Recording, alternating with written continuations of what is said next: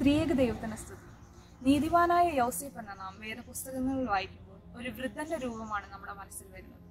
തിരുകുടുംബത്തിൽ യോസേഫിന്റെ ചിത്രം ഏറെ വയസ്സ് ചെന്ന ഒരു പിതാവിന്റെ ആയിട്ടാണ് നാം വരച്ചു കാണുന്നത്.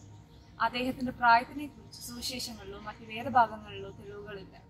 ചില അപ്പോക്രിഫൽ ഗ്രന്ഥങ്ങളിൽ നിന്നാണ് യൗസേഫിനെ പറ്റിയുള്ള വിവരങ്ങൾ പ്രചരിക്കുന്നത്. യൗസേഫ് ബദ്ലഹേമിൽ ജനിച്ച് എന്നാണ് നാം കാണുന്നത്.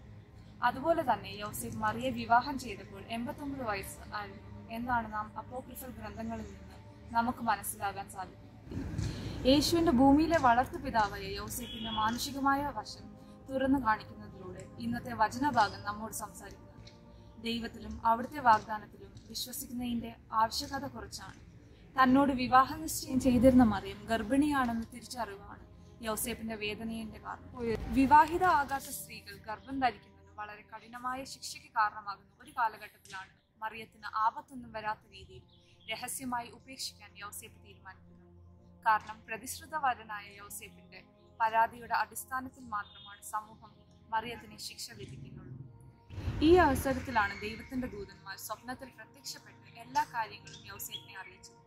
മനുഷ്യയുക്തിക്ക് ഒരു കാരണവശാലും നിരക്കാത്ത ഒന്നായിരുന്നു മറിയം പുരുഷ സമീപമില്ലാതെ ഗർഭം ധരിച്ചു എന്നുള്ള ആ വെളിപ്പാട്. എങ്കിലും യോസേപ്പ് അത് വിശ്വസിച്ച് എന്നിട്ട് കർത്താവിന്റെ ദൂതം കൽപ്പിച്ച പോലെ യാതൊരു പരിഹാരമില്ലെന്ന് കരുതി നമ്മൾ നിരാശയോടെ കടന്നു പോകുന്ന സാഹചര്യത്തിൽ പോലും ദൈവം നമ്മോട് കൂടെ സദാ ഉണ്ടെന്ന് വിശ്വസിക്കാൻ നമുക്ക് സാധിക്കുന്നു അതിനാൽ വിശുദ്ധ യൗസേപ്പിനെ കുറിച്ചുള്ള ആധികാരിക പഠനങ്ങൾ സഭയിൽ ഉണ്ടാകണം. സഭയിൽ നീതിമാനായ യൗസേപ്പിന്റെ പെരുന്നാൾ ഭക്തിപൂർവം ആചരിക്കണം. ദൈവനാമം മഹത്വം ഉണ്ടായിരിക്കും നന്ദി നമസ്കാരം.